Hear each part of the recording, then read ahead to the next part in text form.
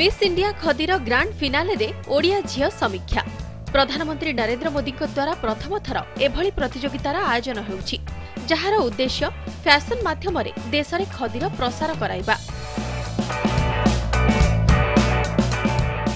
ଫିନାଲେରେ ନିଜେ ପ୍ରଧାନମନ୍ତ୍ରୀ ଉପସ୍ଥିତ ରହିବେ ଏଥିଲାଗି ଖୁସି ପ୍ରକାଶ କରିଛନ୍ତି ସମୀକ୍ଷା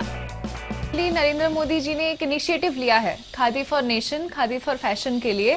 जिन्होंने जैसे कि गांधी जी ने इसका शुरुआत किया था नरेंद्र मोदी जी ने इसका फिर से एक नया पहल लेके खादी को और बढ़ावा देने के लिए और प्रमोट करने के लिए पूरे विश्व भर में उसको फैलाने के लिए ये एक नया पहल शुरू किया है जिससे कि उन्होंने यूथ को लिया है समीक्षा धरों घर संबलपुर ସେ ଏବେ ଛତିଶଗଡ଼ ରାୟପୁରରେ ରହି କମ୍ପ୍ୟୁଟର ସାଇନ୍ସରେ ଇଞ୍ଜିନିୟରିଂ କରୁଛନ୍ତି ଏଇଠାରେ ମିସ୍ ଇଣ୍ଡିଆ ଖଦି ପାଇଁ ସେ ହେଲେ ଫର୍ଷ୍ଟ ରନର୍ସ ଅପ୍ ମଡେଲିଂ ପ୍ରତି ତାଙ୍କ ଆଗ୍ରହକୁ ଦେଖି ସମୀକ୍ଷାଙ୍କ ପରିବାର ବି ଖୁସି ହେଲେ ପାଠପଢ଼ାରେ କୌଣସି ସାଲିସ କରିବାକୁ ଚାହୁଁନାହାନ୍ତି ତାଙ୍କ ବାପା ସମୀକ୍ଷାଙ୍କ ପରିବାର ହାଇଦ୍ରାବାଦରେ ରହନ୍ତି मैंने भी उसे कहा है कि तुम मॉडलिंग में जा सकती हो लेकिन पढ़ाई मेरे लिए पहले है मैंने उसे कहा है कि तुम बेटी पहले तुम अपना इंजीनियरिंग कर लो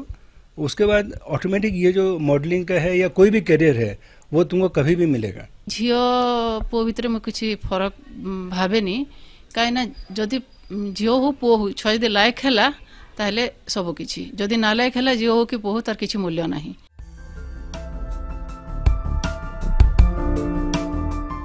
खदी ग्रांड फिनाले रे इंजीनियरिंग छात्री समीक्षा को मिली बड़ दायित्व